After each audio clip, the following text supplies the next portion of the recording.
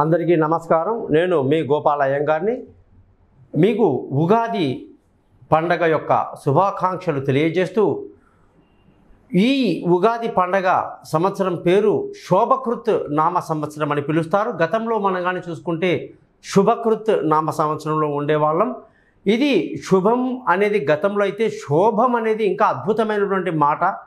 శోభాయమానంగా విరాజిల్లుతుంది ఈ సంవత్సరం అంతా అని చెప్పేసి ఈ సంవత్సరం యొక్క అర్థాన్ని మనం ముందే గ్రహించాలి. చాలా మంచి సంవత్సరంగా దీన్ని మనం గుర్తించాలి. ఇక మీరందరూ కూడా ఈ ఛానల్ని సబ్స్క్రైబ్ చేయండి. జాతకం కొరకు పైన ఇచ్చిన నా నెంబర్ను నన్ను కాంటాక్ట్ చేయండి. మీ జాతకాలని కూడా నేను క్లియర్గా మీకు అర్థమయ్యేటట్టు చెప్తాను. అలాగే ఈ శోభకృత నామ సంవత్సరం యొక్క పంచాంగ శ్రవణం. పంచాంగ శ్రవణం అంటే పంచ అంగములు అంటారు. పంచ అంగములు అంటే తిది వార నక్షత్ర యోగ కరణములు అని చెప్పేసి ఉండేటువంటి ఐదు విషయాలను ఈ యొక్క పుస్తకంలో పొందుపరుస్తారు.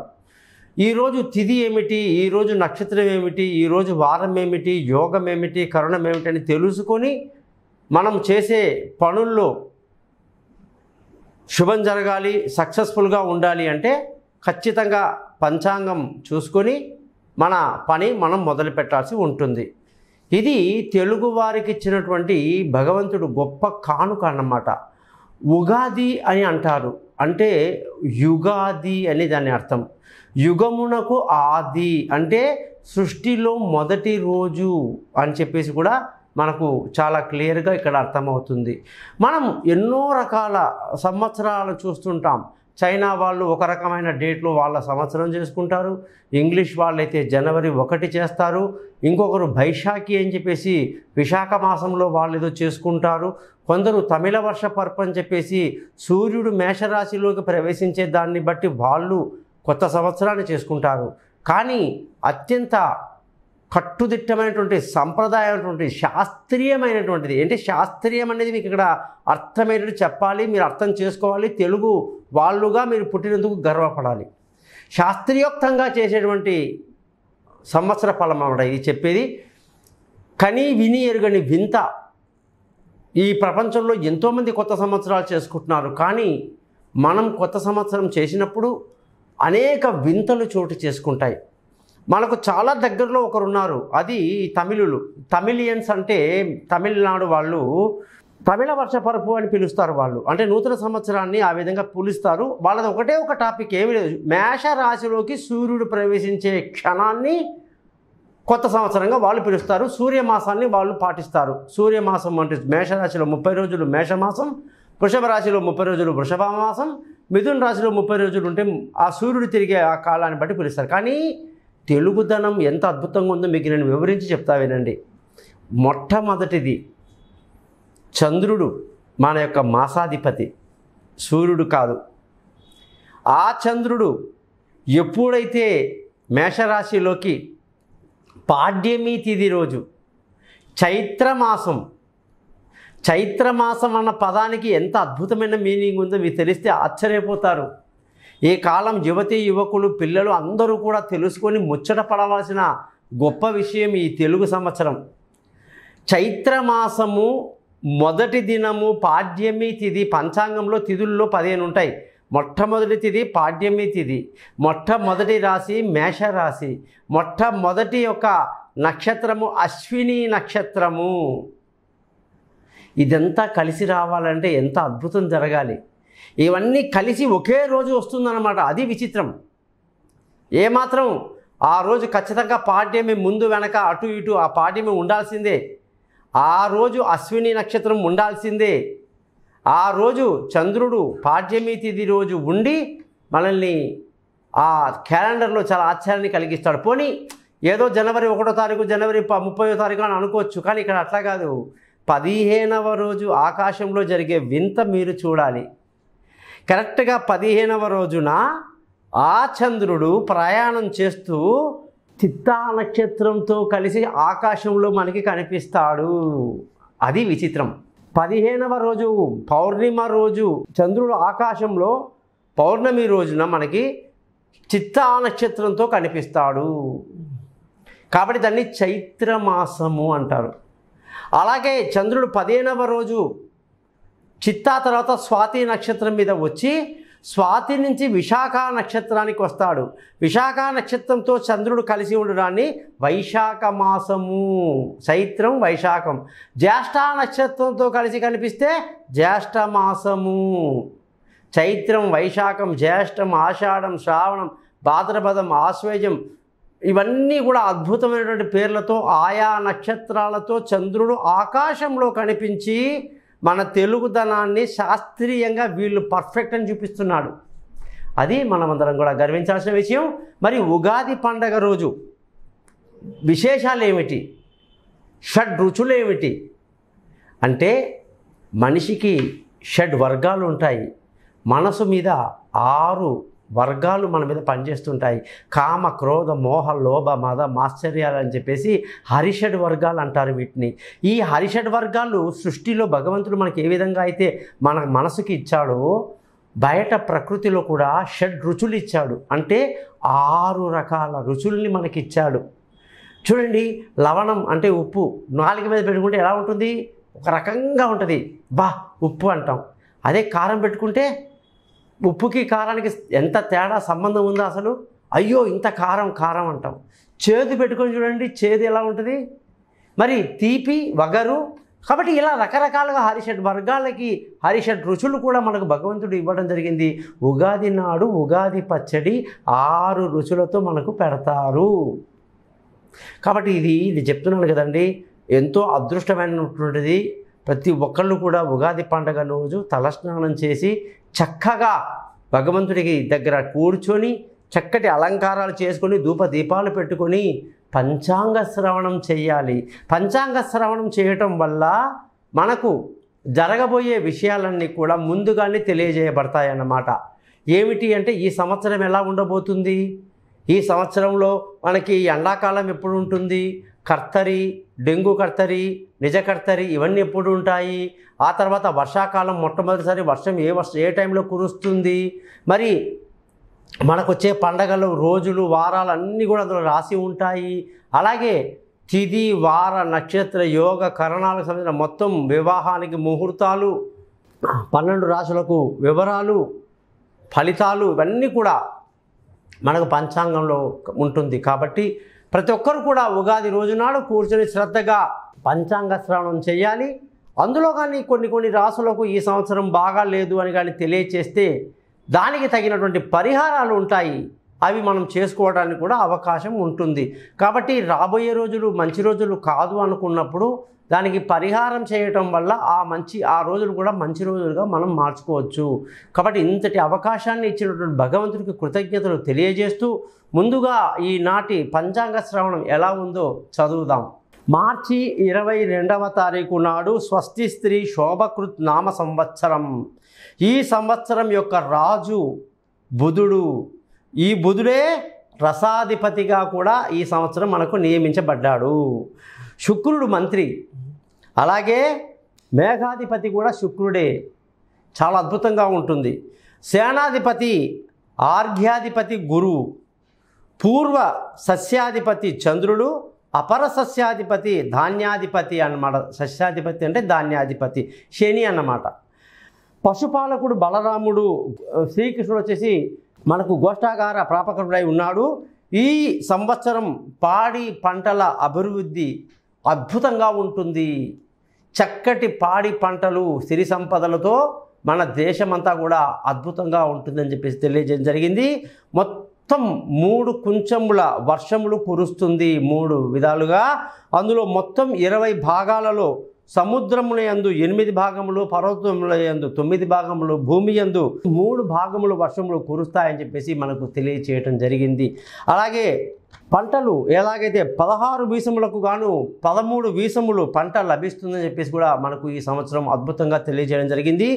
జ్యేష్ఠ బహుళమున తొలకరి వర్షములు జ్యేష్ఠ మాసములో తొలకరి వర్షములు కురుస్తుంది. ప్రజలకు సుభిక్ష క్షేమ ఆరోగ్యములు ఈ సంవత్సరం చేకూరుతాయని చెప్పేసి మనకు పెద్దలు చెప్పడం జరిగింది. అలాగే కర్తరి అంటే ఎండాకాలంలో వి- విపరీతమైనటువంటి ఎండలు వచ్చే సమయాన్ని మే మాసంలో కర్తరి అంటాము. అంటే కార్తీక కృతిక నక్షత్రం మీద సూర్యుడు రావటాన్ని మనం కార్తీక కర్తరి అంటాం. ఈ కర్తరిలో ఐదో తారీఖు మే నెల రెండు వేల ఇరవై మూడు వైశాఖ పూర్ణిమ నాడు శుక్రవారం ఉదయం ఆరు గంటల ఇరవై నాలుగు నిమిషాలకు డొల్లు కర్తరి అనేది ప్రారంభమవుతుంది.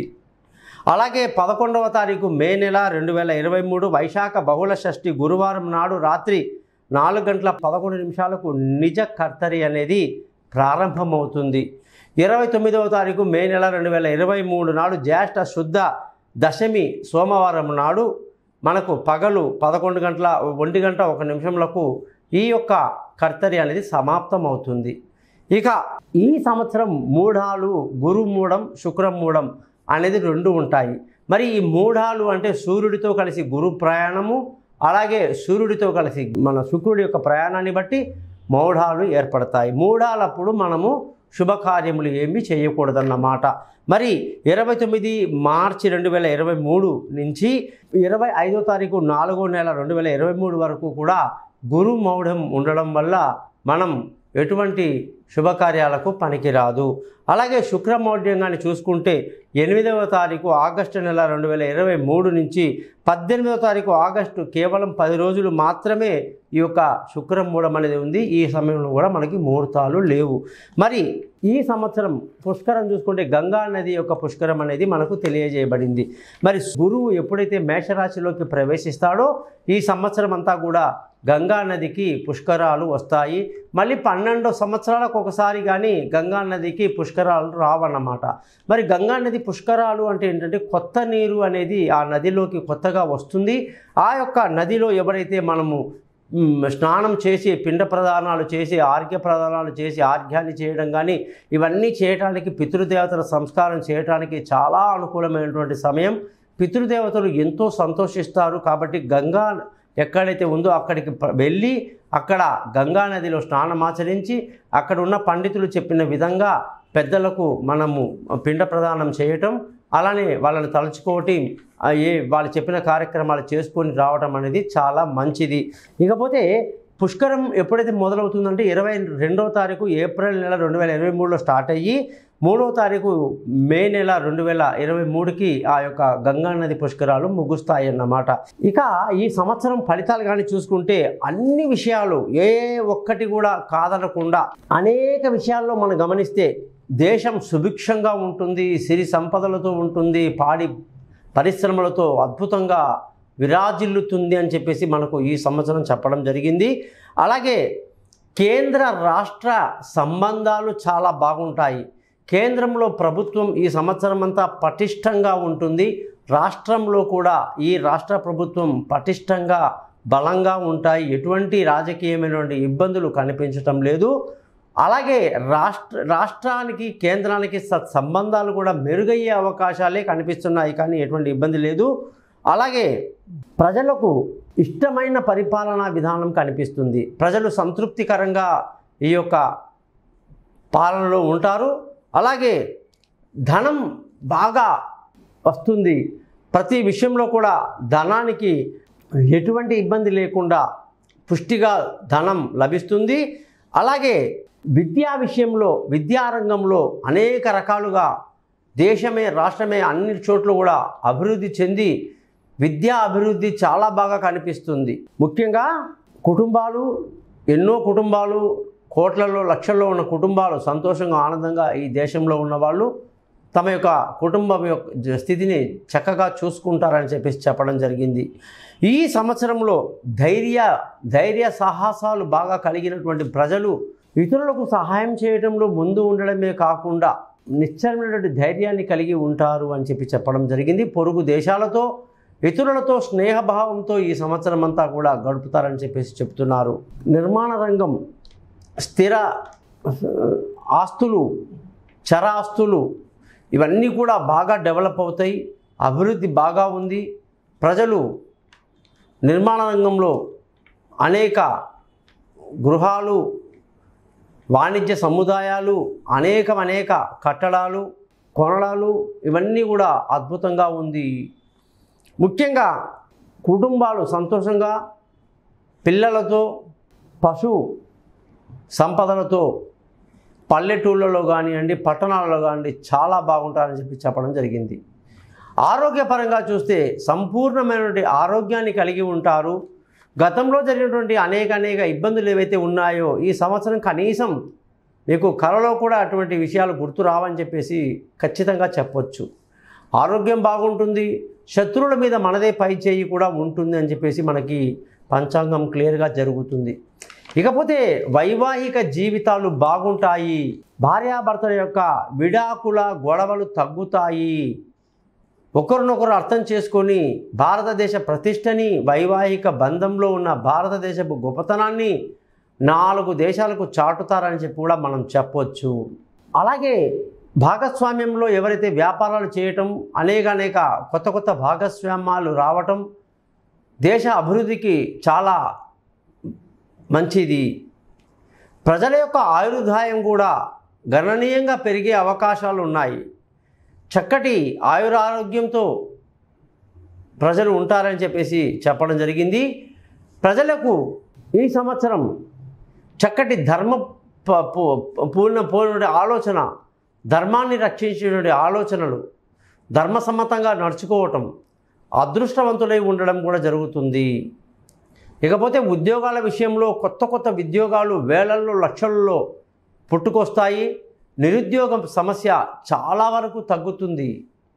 అలాగే కొత్త కొత్త నిర్మాణ సంస్థలు కొన్ని కొన్ని అనేక రంగాల్లో మన దేశంలోకి రావటం ఉద్యోగ అభివృద్ధి అనేది కొత్త వాళ్ళకి అనేక ఉద్యోగాలు ఇవ్వడం అనేది జరుగుతుంది. కాబట్టి నిరుద్యోగ సమస్య పెద్దగా ఉండదు. వ్యాపార రంగంలో చూస్తే ఇది అది అని కాదు అన్ని రకాల వ్యాపారాలకి ఈ యొక్క సంవత్సరం ఎంతో అనుకూలంగా ఉంది. కాబట్టి వ్యాపార రంగంలో అందరికీ కూడా అనేక అనేక లాభాలు బాగుంటాయని కూడా మనం చెప్పవచ్చు. అలాగే మనం కానీ చూసుకుంటే ఈ సంవత్సరం ఏ ఏ రంగాల్లో చక్కటి అభివృద్ధి కనబడుతుంది అంటే ముఖ్యంగా పంటల విషయంకి వస్తే గోధుమలు శనగలు పెసలు కందులు అవిసెలు వరి ధాన్యములు ధరలు బాగా కొంచెం పెరిగే అవకాశాలు ఉన్నాయి. బ్యాంకు వడ్డీలు షేర్లు మొదలగు వ్యాపార వాటాలు ధరలు కొంచెం పెరిగే అవకాశం ఉంది. కడప రాయి పలకలు సిమెంటు బంగారం వెండి ఇనుము ఉక్కు అబ్రకము ధరలు తగ్గుతాయి. మణులు రత్నములు ముత్యములు జల పదార్థములు కర్పూర తైలము సుగంధ తైలము సబ్బులు రసాయన ఎరువులు రసాయనిక ద్రవ్యములు ధర తగ్గుతుంది.